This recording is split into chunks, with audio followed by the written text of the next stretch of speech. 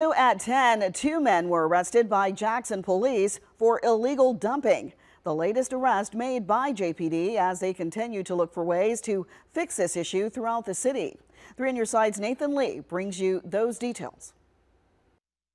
The two men arrested were 39-year-old Christopher Ellis and 29-year-old Jermaine Reed. Now, while the exact location of their illegal dumping was not made clear, they did say it happened near Industrial Drive and Country Club Drive, which is exactly where we are. And as you can see right here, this scene is pretty crazy. They've got tires, mattresses, and dressers, and I even found shotgun shells out here as well. Ellis and Reed are accused of dumping dressers, furniture, and other debris, but this is just the latest arrest for illegal dumping as Jackson police continues to crack down on it. Less than a week ago, two men were arrested on McDowell Road for illegal dumping. Also, just over a month ago, one man was arrested on South McRaven Road and another on Raymond Road. These recent arrests are a testament to the extra efforts from JPD's newly established Neighborhood Enhancement Unit, as well as help from those in the community. These individuals uh, were identified.